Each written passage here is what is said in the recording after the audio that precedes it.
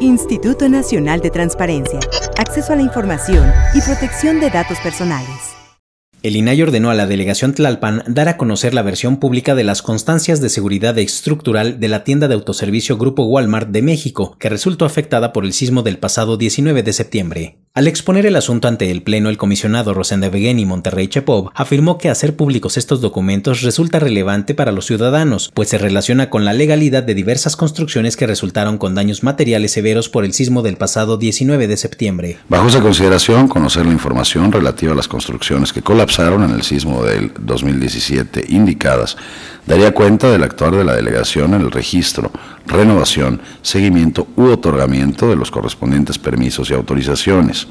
así como el conocimiento de la legalidad de aquellas construcciones y establecimientos mercantiles que se encuentran dentro de esa demarcación. El particular solicitó los documentos presentados en la ventanilla única de la delegación Tlalpan por los propietarios o poseedores de cinco inmuebles colapsados o dañados por el sismo del 19 de septiembre de 2017, entre los que se encuentran la tienda de autoservicio de Grupo Walmart de México ubicada en Calzada Acoxpa. En respuesta a la delegación, a través de la Dirección de Desarrollo Urbano, proporcionó la versión pública de los avisos de constancia de seguridad de tres inmuebles y en un alcance remitió a la delegación Coyoacán la solicitud de un inmueble ubicado dentro de su jurisdicción. Sobre la tienda de autoservicio servicio referida informó que en sus bases de datos no se encontró el registro de aviso de constancia de seguridad estructural, ya que los antecedentes de construcción datan de los años 1976 y 1978. Inconforme con la respuesta, el particular interpuso un recurso de revisión ante el órgano garante de la Ciudad de México, el InfoDF, señalando que el sujeto obligado omitió remitir su acta del Comité de Transparencia, en el que consta la aprobación de la versión pública entregada. Al ejercer la facultad de atracción, el INAI turnó el caso al comisionado Monterrey Chepov. Del análisis en su ponencia se logró desprender que las construcciones como la del inmueble referido deben registrar una constancia de seguridad estructural y renovarla cada cinco años o después de cada sismo intenso para comprobar que se encuentra en condiciones adecuadas de seguridad. El artículo 69, en relación con el 174 del reglamento de construcciones en vigor,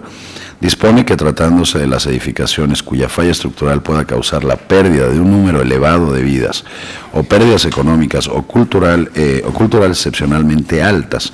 como puede ser el caso de las tiendas de autoservicio, se deberá registrar ante la delegación una constancia de seguridad estructural. Bajo este argumento, el Pleno del INAI modificó la respuesta de la delegación Tlalpan y le instruyó proporcionar al solicitante los documentos que son de su interés. Instituto Nacional de Transparencia, Acceso a la Información y Protección de Datos Personales.